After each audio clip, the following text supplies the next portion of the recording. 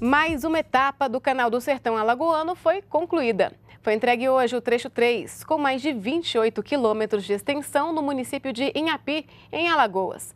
Cerca de 60 mil pessoas serão beneficiadas.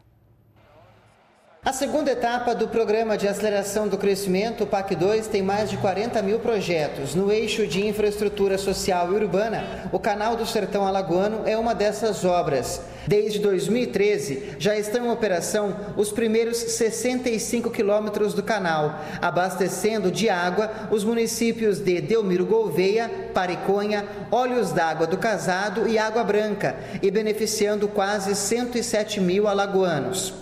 A água é utilizada para a agricultura irrigada de cana-de-açúcar, capim, sorgo e palma, além da produção pecuária e consumo humano. A água é utilizada para a agricultura irrigada de cana-de-açúcar, capim, sorgo e palma, além da produção pecuária e consumo humano.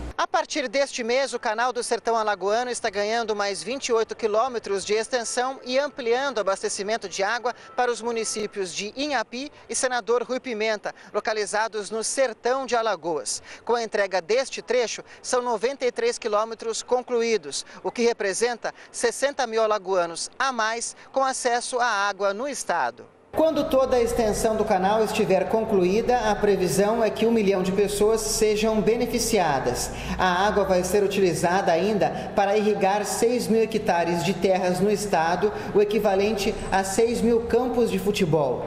O investimento no canal alagoano é de 2 bilhões e 350 milhões de reais, sendo mais de 97% do governo federal e o restante do governo do estado.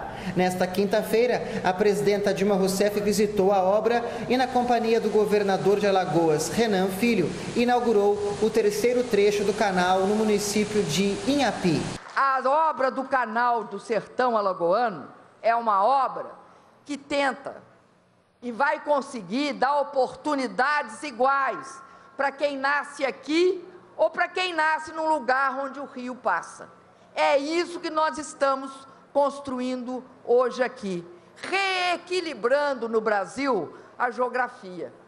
Porque você tem de reequilibrar a geografia. Não mora gente aqui? Mora.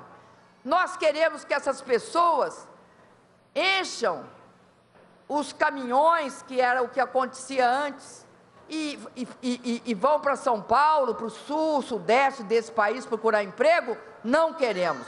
Nós queremos que os empregos, a riqueza e as condições de vidas estejam aqui também. A presidenta Dilma Rousseff também anunciou uma nova obra em Alagoas. A pavimentação da rodovia, da BR, que liga Carié até Inajá.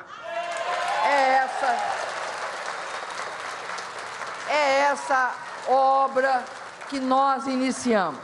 É importante você saber que a, a licitação de RDC integrada foi finalizada em setembro, agora passado, e nós pretendemos, a partir do projeto pronto, iniciar a obra em fevereiro, na segunda metade de fevereiro.